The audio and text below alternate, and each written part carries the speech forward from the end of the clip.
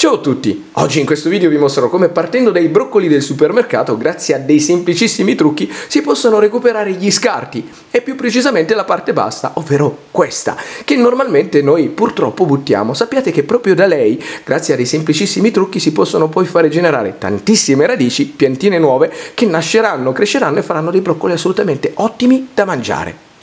La prima cosa che occorrerà fare sarà quindi quella di procurarsi un broccolo e la cosa bella dell'esperimento è che non dovrà essere per forza bello e buono da mangiare, proprio come questo, ma potrà essere anche appassito, brutto e non più commestibile, proprio come questo. Io per esempio questo l'ho dimenticato in frigo e al posto di buttarlo lo utilizzerò proprio per l'esperimento. La cosa importante invece è che il broccolo che sceglierete abbia un tronco che abbia un'altezza almeno di 5-6 cm e un diametro che superi i 4 Altra cosa davvero importante quando sceglierete il fiore è che il suo tronco sia perfettamente sano, quindi che non presenti tracce di funghi, muffe, batteri o peggio ancora marciume alla base, perché se no ci sarebbe proprio il pericolo concreto che in corso d'opera durante l'esperimento eh, tutto marcisca e che voi poi il risultato non lo otteniate. Ed una volta scelti si potrà procedere essenzialmente in due modi. Se come in questo caso è secco, non si potrà utilizzare eh, la parte di sopra, quindi lo si potrà prendere e passare allo step successivo così com'è. Invece se come in questo caso la parte sopra è ancora commestibile, io consiglio con un taglionetto di tagliare il tronco,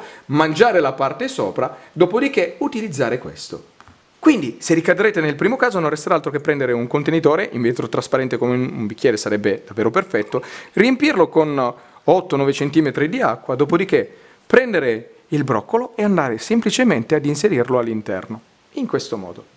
Dopodiché posizionare lui in un punto dove prenda molta luce ma non i raggi del sole diretti e assicurarsi che il livello dell'acqua sia sempre superiore almeno di 5 cm rispetto alla base del broccolo stesso. Nella seconda ipotesi, ovvero quella nel quale il broccolo è ancora ottimo da mangiare, proprio come in questo caso, io consiglio di separare la parte sotto, quindi il tronco, e la parte sopra consumarla subito. In questo modo, insomma, non sprecherete davvero nulla. E a quel punto basterà prendere un coltello e andare proprio nel punto dove iniziano le diramazioni e con un taglio netto tirare via, così.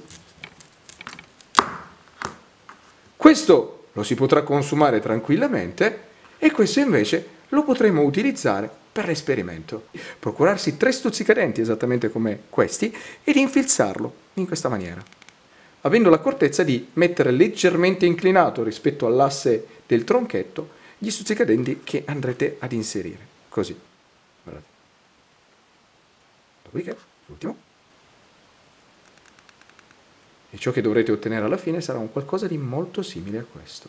Procurarsi un altro bicchiere e riempire anche questo quasi fino all'orlo, dopodiché prendere il tronchetto ed andarlo semplicemente ad inserire all'interno. E come si può notare, il tronchetto verrà sostenuto. Così facendo, la parte inferiore del tronchetto non andrà direttamente a toccare il fondo del bicchiere e le radici si potranno sviluppare senza problemi. Primi risultati, la nascita delle radici. Dopo neanche una settimana da quando l'abbiamo inserito all'interno dell'acqua, riprendendo il tutto e tirandolo fuori, guardate alla base che cosa si è spuntato. Ci sono delle magnifiche radici che sono nate e adesso sono lunghe circa 3 cm. Provo a mostrarvi meglio come, ma soprattutto dove siano nate le radici.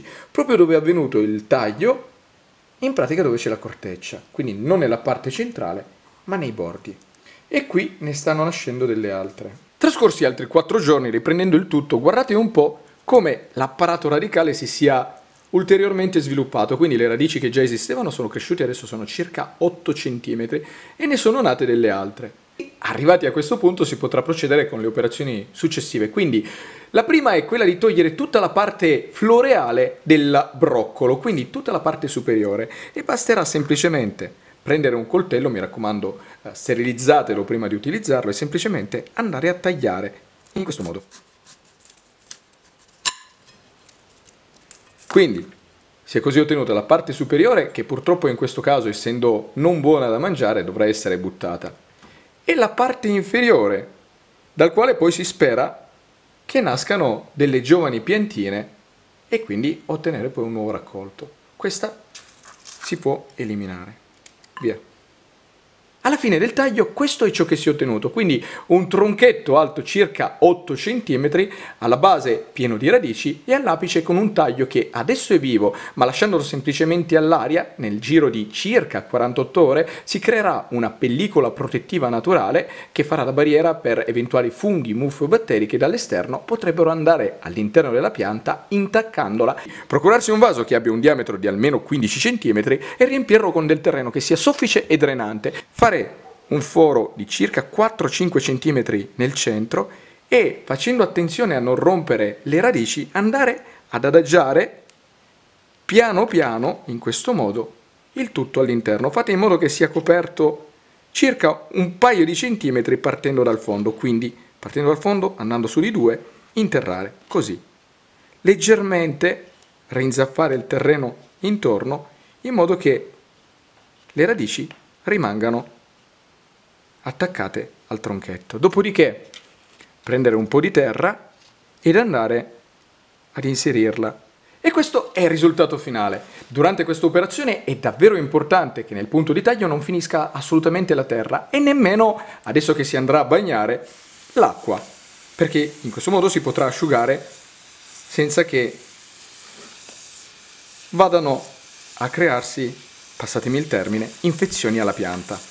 Trascorsi soltanto 5 giorni, riprendendo il tutto si può notare che nel punto di taglio la parte che prima era viva adesso si è completamente asciugata ed in più, andando a guardare alla base, guardate cosa sta avvenendo. È nato un piccolo germoglio e se tutto andrà bene questo si svilupperà e diventerà la vera e propria piantina. È circa un centimetro, però già si vede chiaramente come si stia formando.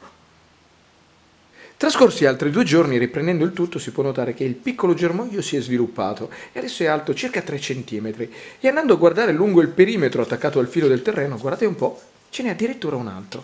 Questo che è il primo che è nato, alto circa 3 cm, direi che si sta formando in una maniera assolutamente perfetta.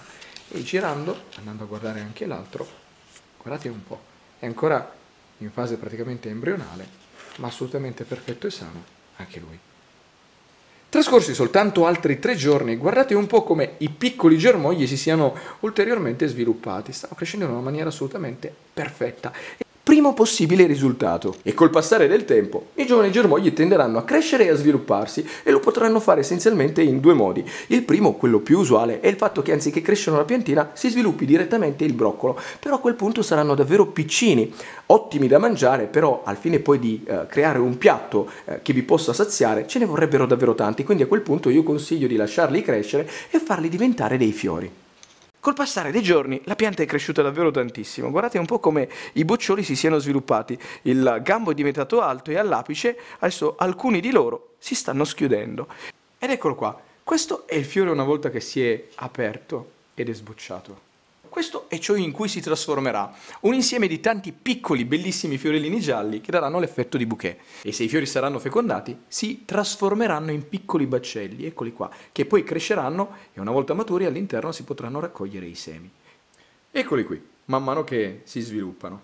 Secondo risultato, sviluppo della piantina e successivo sviluppo dei broccoli.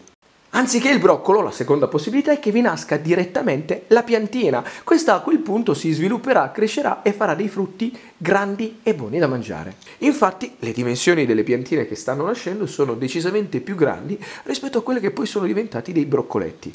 Trascorsi 45 giorni da quando abbiamo inserito il ceppo all'interno del terreno, così è come appare la pianta, alta circa 10 cm. Quasi certamente col passare dei giorni il tronchetto dal quale è nata la piantina tenderà ad asciugarsi e a sparire ed è una cosa assolutamente normale e fisiologica, proprio perché la piantina che è nata per crescere sta assorbendo proprio da lui tutti gli elementi di cui ha bisogno. Arrivati all'ottantesimo giorno di foglioline ce ne sono ben quattro, assolutamente sane e perfette, e sembra che nel centro ne stia nascendo una quinta. E al quarto mese la pianta è completamente sviluppata, alta circa 30 cm.